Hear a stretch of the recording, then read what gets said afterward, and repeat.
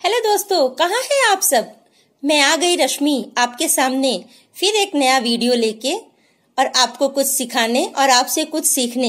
आपके कमेंट्स का बहुत इंतज़ार रहता है। प्लीज़ हमें कमेंट्स में कमेंट्स बॉक्स में कमेंट्स करके कुछ सिखाइए और कुछ बताइए। तो आज मैं आपको इस फ़ूड प्रोसेसर की वीडियो लेके आई हूँ। इसमें मैं आपको बताऊँगी बिहार यूपी की जो फ़ेमस लिट्टी है, उसकी प्रिपरेशन कैसे होती है, वो सत्तू का मसाला किस तरह तैयार करते हैं और आटा किस तरह गूंथते हैं तो उसके बारे में बताऊँगी। तो चलिए कुछ नया सीख लेते हैं। सबसे पहले मैं ये मेन जो है मिडिल पार्ट का इसे लगाऊँगी। उसके बाद ये जो ब्लेड है, ये देखिए, इस तरह से इसे लगाऊँगी क्योंकि सबसे पहले प्याज, अदरक, लहसुन, मिर्ची और धनिया पत्ती को हमें कट करना है, ठीक है? तो इसे अच्छी तरह से इसमें लगा देंगे और फिर इस ढक्कन को इस तरह से मार्क बना हुआ है। मार्क पे हम इसे बैठाते हुए अच्छी तरह से लॉक करेंगे। यहाँ पे करेंगे, यहाँ एक कट से आवाज़ आएगी, तभी ये लॉक होता है। ये देखिए, हो गया? अब हम इसे खोल देंगे। और अब हम प्याज ले ये देखिए, प्याज को चार भाग में छिल के इस तरह चार भाग में कट कर दिए हैं, ओके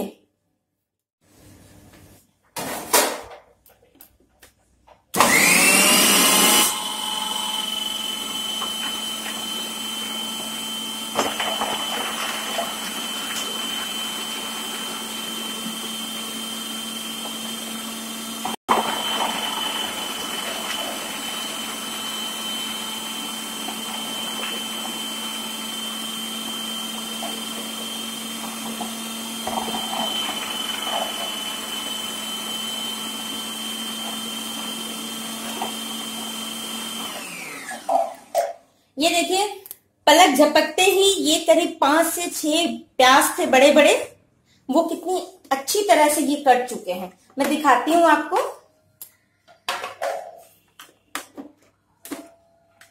ये देखिए, कितनी बारीक कटिंग हुई है, क्योंकि सत्तू के मसाले में ना इसी तरह बारीक प्याज की ज़रूरत होती है, ठीक है?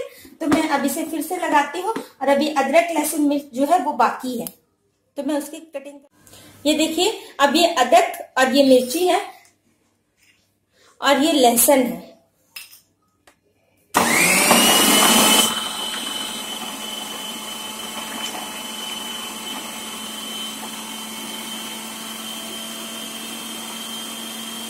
धनिया की पत्ती।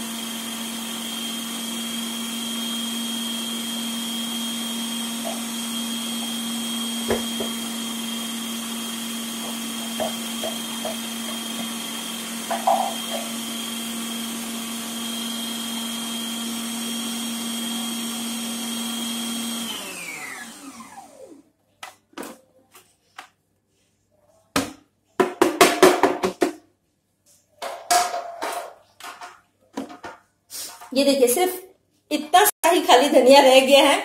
इसे मैं यूँ ही तोड़ के डाल देती हूँ।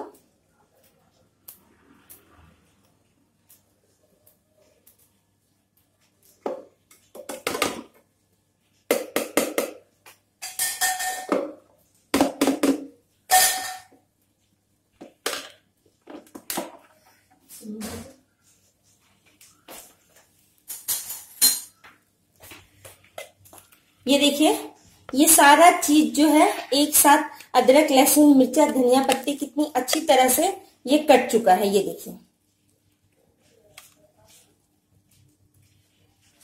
अब मैं इसका मसाला बना के दिखाती हूँ।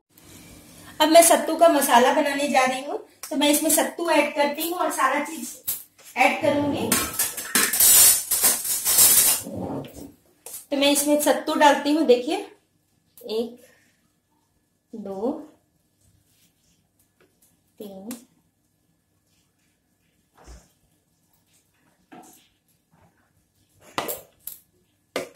ये मैं पाँच चम्मच इसमें सत्तू डाल दी हूँ। ठीक है? और जो ये जो पेस्ट जो मैं बनाई थी, वो भी मैं इसी में डाल दूँगी। सबसे पहले मैं इसे ब्लेड लगाऊँगी। ये देखिए, ये जो ब्लेड है, ये प्लास्टिक का है, इससे सत्तू मसाला मिक्स होगा प्लस हमारा आटा भी इसी से गुथा जाता है। ओके तो मैं इस ब्लेड को लगा देती हूँ इसमें।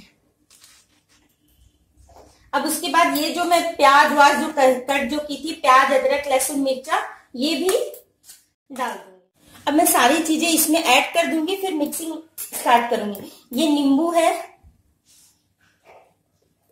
ये मैं एक बड़ा सा नींबू ली हूँ। इसमें काफ़ी रस है।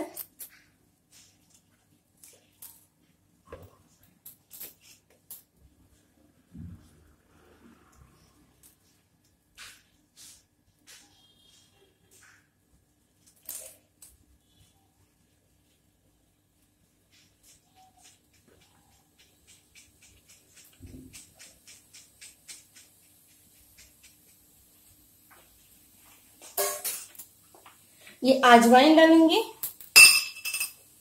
नमक टू टेस्ट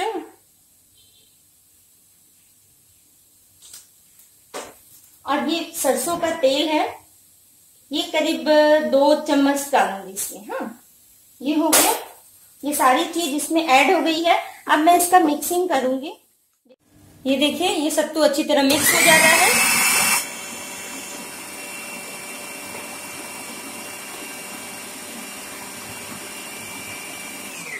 सारे मसाले में सत्तू अच्छी तरह मिक्स हो चुका है। दिखाती हूँ। ये देखिए। ये देखिए।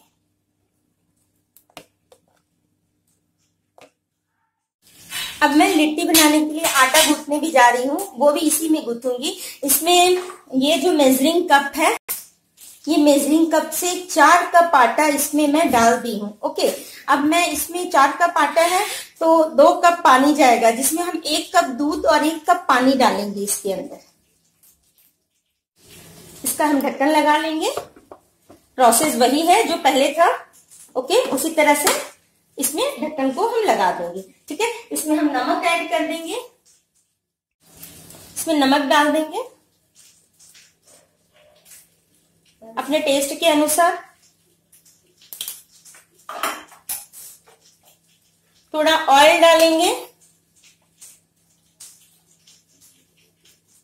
जिससे आटा सॉफ्ट होगा। अब पहले मैं इसे चालू करके मैं मिक्स कर दूँगी कि ऑयल और जो नमक है वो आटे में अच्छी तरह से मिक्स हो जाए। ओके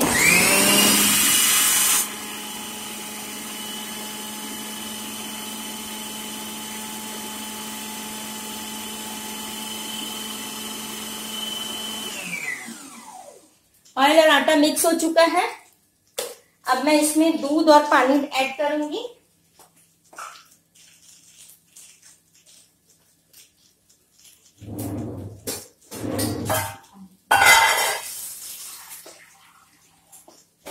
ये एक कप दूध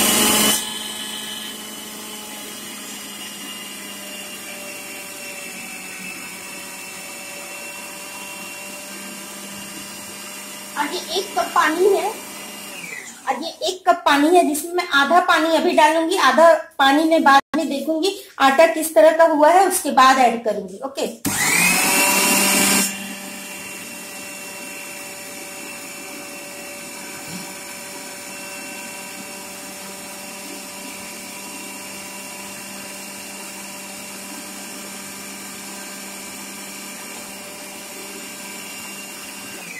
ये बचा हुआ पानी भी डाल देती हूँ।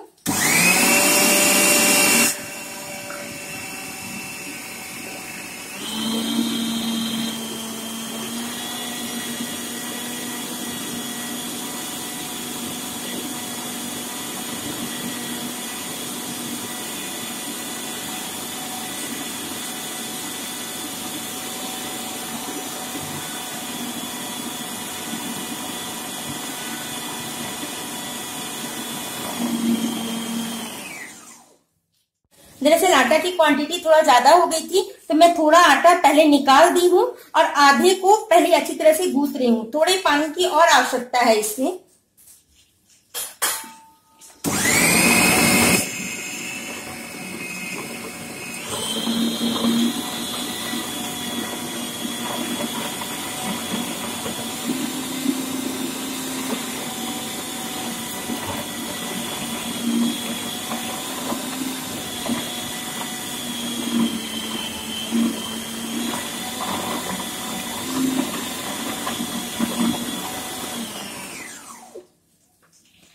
बहुत अच्छी तरह से ये आटा लग चुका है।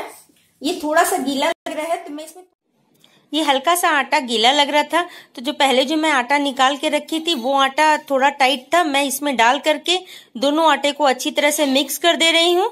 ये देखिए, ये बहुत ही अच्छी तरह मिक्स हो चुका है। देखिए, आटा गुथ के तैयार है और ये आटा बहुत ही सॉफ्ट और बहुत ही अच्छा बहुत ही अच्छी तरह गुथ गया है और ये हाइजीनिक भी है क्योंकि ये बहुत सफ़ाई से गूथा गया है और बिल्कुल सॉफ्ट है, बहुत अच्छी लिट्टी बनेगी इससे। आप इसे अच्छी तरह से, आप इस तरह से गूथ सकते हैं और आज की वीडियो यहीं समाप्त करती हूँ। आप अपना ध्यान रखिएगा। बाय।